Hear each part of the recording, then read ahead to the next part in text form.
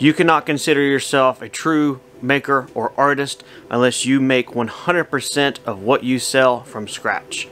Let's talk about that.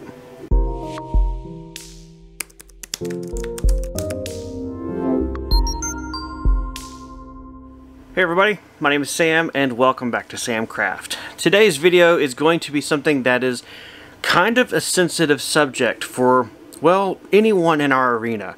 Anyone who is in the world of I create things, I sell things, I like to do what I do, you're going to have an opinion. You're going to fall somewhere on this spectrum of agreeing with, completely disagreeing with, or kind of, eh, I see where you're coming from in the middle.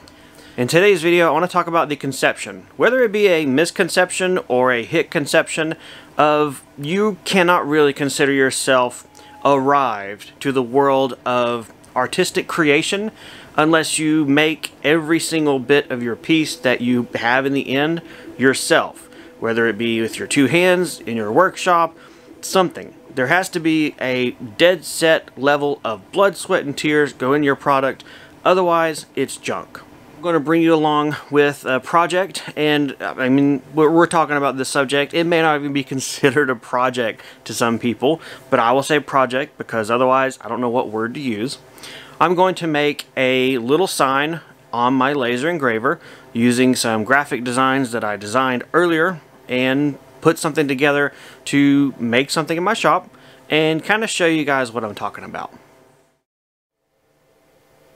I would say the origin of this concept that you have to make everything yourself, otherwise you are somehow subpar or not as good as another creator, probably stems from, well, social interaction.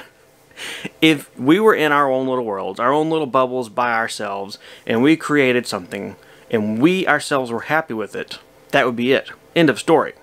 When you bring other people into the mix, especially others in your field, so professional colleagues perhaps, other people you look up to who do a similar craft, that's when the problem happens. The problem happens whenever you start comparing what you make to what someone else does and judging yourself. So I'll give you a little history of Samcraft and Sam, the guy behind Samcraft really. My experience in this whole world of small business, woodworking, making, selling things, generating my income from a thing that I do myself. This all started about four years ago.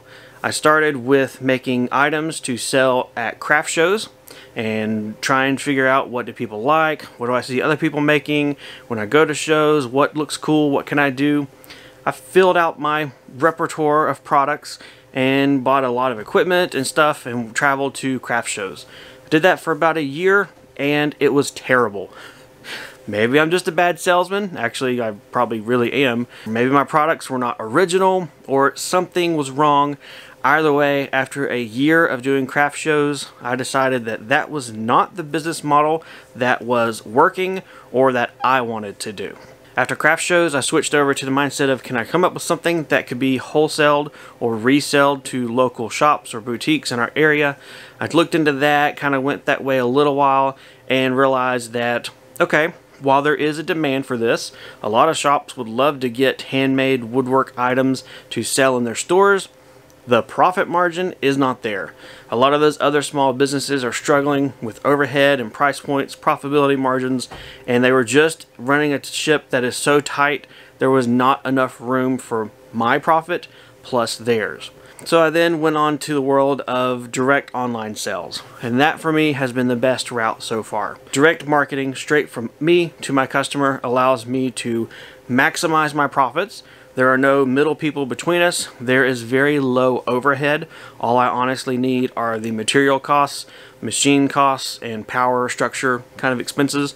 There's no travel required. There's no setup fees at events. There's no special equipment needed to sell at events, and so many other things that make this, for me, the best business structure that I've come up with.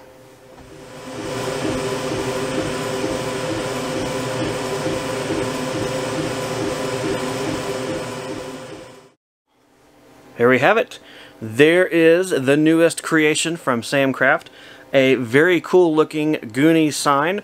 Now, not only does the fact that it's Goonies make it cool, but I actually liked the irregularities that the engraving or burning happened with the wood grain and the paint that was already on this sign. Very neat. This looks like it would be comfortable in a home, in a, I don't know, vacation rental, beach house, or in Sam's workshop. So there's no telling where it'll go. Of all of those things, I only have a home and a workshop, so point A, point B. So throughout this whole video, you have seen the workflow or the process for making a sign such as this. I start with a blank object, in this case a pre-made sign purchased, and I then take my design that I want to engrave on it into Lightburn and design it and build all of that, come up with what I want created, load it up into my laser engraver, and let it go. Now, that whole process honestly, when everything is fallen into place as luckily as it did for this first time I've ever made a project like this, that looks incredibly easy. It is super easy, no problems. However, this concept of, wow, that's easy, well, I guess it's not a quality item, is a toxic concept. So stop doing it. If you're doing that, stop.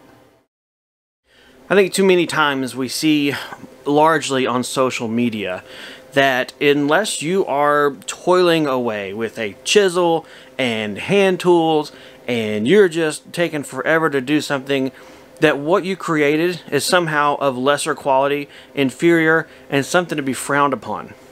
We got to stop that.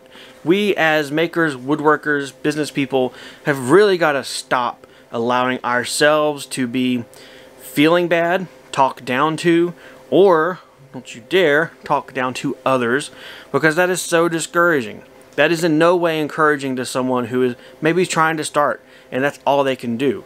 Or someone who has the desire to really create something, but their personal life does not allow them to spend days upon days in a workshop creating something by hand. Maybe they don't yet have the skill set to do that. Whatever the case may be, we have got to quit making people feel inferior because we are jealous or we don't have that tool or we don't have XYZ or they don't have ZYX, whatever the case may be. Stop it. Okay, Sam's off his soapbox, perhaps. So, going back to this, this project, this thing of contention. Honestly, if your goal is to run a business, which is what my goal is, you have got to always keep the bottom dollar in mind the profit, the money of it. Yeah, that's a, you know, four-letter word to some people in this arena, but that's where you've got to segregate yourself. You need to realize, is my goal to be a guild artist and I'm creating beautiful works of art? Or is my goal to try and generate some income from my workshop so that I don't have to be stuck at the office 50 hours a week, so I can be home with my kids or family more often, or just so I can do what I enjoy doing. Whatever the case may be, the number one thing you got to do is know what you want. For me, this fits the bill. For me right now, this fits the bill. I'm not saying this is me forever. I'm not saying that this is the pinnacle of my craft and creation. This is an example of how I'm able to quickly create something, reproduce it, offer it to many people, and then have the time, money, and ability to step up things here and there. In my personal world, outside of Samcraft, outside of woodworking and small business, we are in the process of moving. We're going to be moving to a different state. We have got to completely rebuild everything. Spoiler alert, this workshop is someday not going to be mine. And where I'm going to, there is no workshop. So I am personally having a lot of things going on outside of this workshop, outside of my Samcraft time, which is why a project like this, an item like this, is very valuable. So maybe my goal with this whole video was to maybe ease myself, ease my own concerns, make me feel better about showing that this is something I will make and sell. Then again, maybe this video is also intended for you whether you are someone who wants to do something like this, wants to buy these signs wholesale, add your own customization, your own personal touches, and then sell it on to a customer, maybe that's you. Maybe you're the person who has been trolling and dogging people because they don't craft this by hand, that this is not good because Sam, you didn't go find that barn wood. You didn't pull the barn wood off of a barn and sand it down and cut it and rip it. You didn't assemble this. You didn't use milk paint for the sign. You didn't, you know, hand weave the jute twine to hold it. So you're not good. Maybe this video is for you. Maybe you need to realize that the concept of creating art, and I think it can be said that a lot of what we do is art, is something that is very subjective to the person. Beauty is in the eye of the beholder, and that applies to woodworking as well as everything else in life. In closing, guys, I hope that I have been able to encourage you, whether you are in any area of this spectrum. Hopefully what you have seen here has been helpful, inspiring, maybe you learned something. If you have any questions about anything you saw in this video or anything regardless in the little realm of Samcraft, feel free to leave me a comment down below. I read every single comment, and the good ones I love to respond to and reply. Otherwise, take care, and I'll see you guys next time in the workshop. Something such as this with a low price point of purchase and personal shop time investment and everything would be great for gifts. Aha, the holiday gift time is coming up. Yes, this is definitely going to be probably gifted to someone I know in the family.